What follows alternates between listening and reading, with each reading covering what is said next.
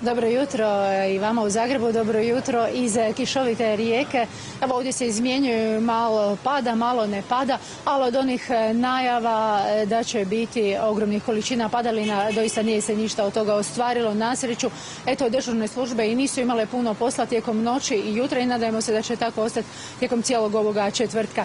A najsretniji su zasigurno bili što nema padalina, odnosno što im nisu poremetili planove. Naši današnji gosti na trgu 111 brigade e, Slavonci. Naime, u 11 sati otvorit će se prvi dan iz Slavonije u Rijeci. Tim povodom ja pozdravljam i našeg današnjeg gosta, gospodina Pavu Baotića, predsjednika Udruge branitelja proizvođača Panonija. Dobro jutro. Dobro jutro, Hrvatska iz Kišne rijeke. Iz Kišne rijeke. Evo, e, ovdje će u 11 sati 30 proizvođača vaše udruge branitelja e, predstaviti svoje proizvode. Biće tu svakakvih delicija.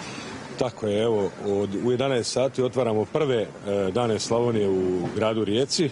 Nama pripada čast našoj udruzi. E, predstavit će se 30 autohtonih proizvođača iz Slavonije. E, tu gastroponudu, slavonski čobanac, imat ćemo malo tamburaške glazbe, imat ćemo u, sve u svemu jedna gotova pričica bit će postavljena ovdje. Evo, e, vi ste u udruzi branitelja e, proizvođača Panonije shvatili da ako se sami ne predstavljate, ako se ne udružite, bilo da su to obiteljska gospodarstva, obrti, tvrtke koji proizvode suhomesnate proizvode, domaće kolače, voćne, rakije, vina, da nećete uspjeti na tržištu. Jasno, naš temeljni cilj je promocija i promičba slavonskih autohtonih delicija, jeli? A e, nadalje smo se pokušavali u afirmirati na tržištu, međutim nije išao. Pa smo zato krenuli zajednički, zajedničkim snagama i evo, pokazuje se kao prihvatljivo. A nešto e, će nam reći i o slavonskom e, čobancu.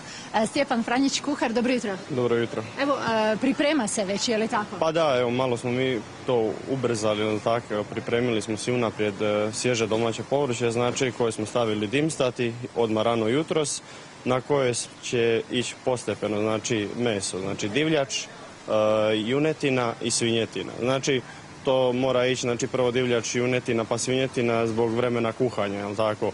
Uglavnom najbitnije domaća svježa namirnica, jel tako? E, dobra domaća svježa e, mljevena paprika, to jest mljevena paprika, ne svježa paprika, blaga i na kraju se još neke začini stave, stave nećemo koje ćemo sve reći, nećemo sve reći. Evo, toliko za prvo javljanje, znači dođite u 11 sati na trga 111. brigade, probajte, mirisi su prekrasni, a vjerujem da će takvi biti i okusi. Doviđenja iz Rijeke za prvo javljanje. Dobro jutro. Ćemo krenuti s liftom, odnosno mi ćemo pričati o jednom posebnom liftu, jedinstvenome u Hrvatskoj. U Hrvatskoj, e, naime, e, premali je za nas. U njega mogu stati samo tri osobe. Radi se o secesijskim liftovima starim 98 e, godina, gotovo stoljeće su stari.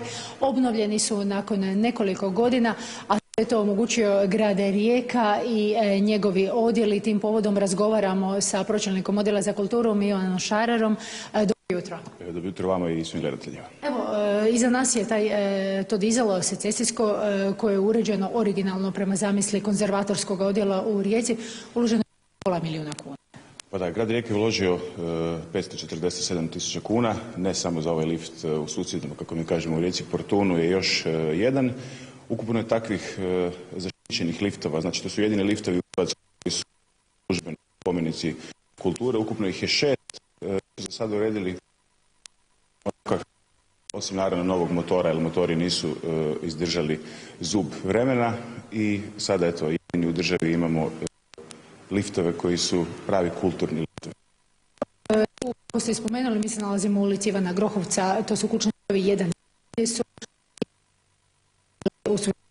u ovoga projekta, ali e, grad Rijeka uredno brine, svake godine se obnavljaju bilo fasade, bilo ovako spomenici kulture. Da, e, zapravo grad Rijeka je svojom odlukom o spomeničkoj renti osigurao nekakvih stabilnih deset svi vrate nazad u obnavljanje e, spomeničke kulture. 2008. je pokrenuta na neki način ideja i sa stanarima i sa konzervatorskim odjelom, dakle kulture u Rijeci i sa gradom Rijekom, kako bi zapravo bilo šteta da ti liftovi propadnu, jer već su došli u neko stanje nakon kojeg se teško šest godina s obzirom da restauriranje liftova uspjeli smo e, dovesti do kraja.